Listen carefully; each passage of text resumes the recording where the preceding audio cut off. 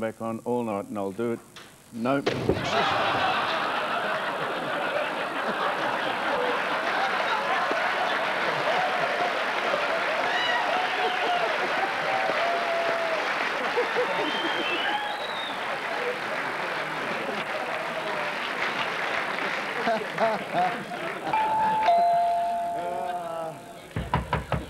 that the door, Sam? That's bloody moving. Is that the door? Oh. Is this, what's this, Ed? I'm not opening. What is that?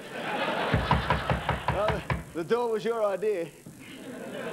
I tell you what, Ed, if there's a snake out here, that is it, Red. I promise you. Go on, just open the door. Don't be a scaredy cat.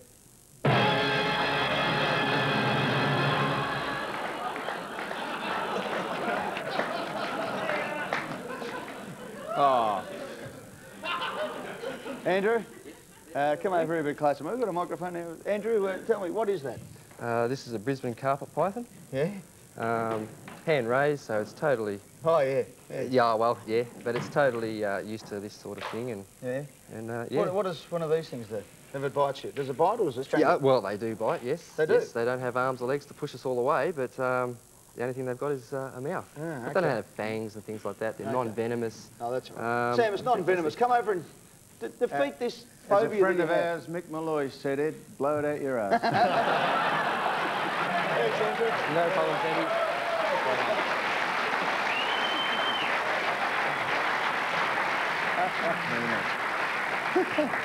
That's Andrew Beckwith, by the way, Sam, from AJB Reptile Displays. okay, Ed, now. In fact, I wasn't going to do this, now I will do it. Uh, in the spirit of national reconciliation, it was the week last week, quarter of a million Bazza walked across the Sydney Harbour just as a token gesture of an apology for what's gone on. Mm-hmm. And believe it or not, Ed, the 22 Collingwood players are going to wander across the Westgate Bridge next Sunday and apologise to all their supporters. for losing, losing to Geelong. Now, Ed, I want your guarantee. Yeah, what's for No more of that. No more. That's All right. No, we'll leave it at that. That's enough.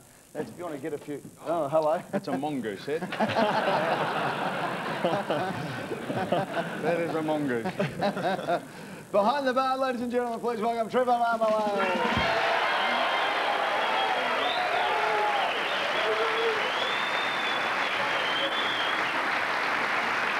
Okay, mate.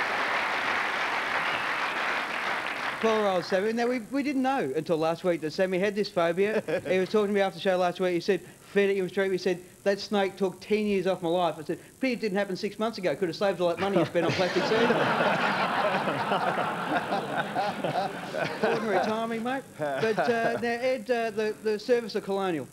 It's, uh, it's gotten pretty ordinary, I've got to say. Well, Benny's uh, mate, Croft, he was complaining about the surface.